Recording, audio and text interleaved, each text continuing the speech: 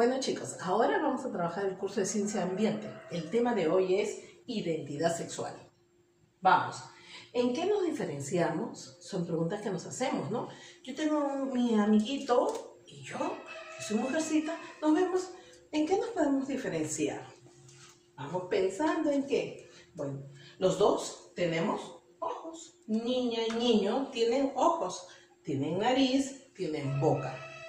¿No? Dos brazos, tenemos dos brazos, dos piernas. Pero hay, y tenemos también cabello. Pero en el cabello también nos podemos diferenciar con el niño, ¿no? Las mujercitas generalmente tenemos el cabello largo. Y los varones siempre, casi siempre, están con el cabello cortito. Las niñas tienen vagina. Las niñas tienen vagina y los niños tienen pene.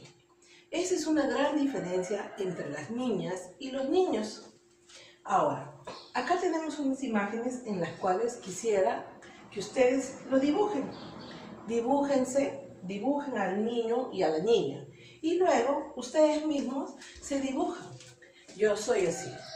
Quiero ver sus dibujitos y no se olviden de enviármelos por el WhatsApp para poderlos ver. ¿Ok?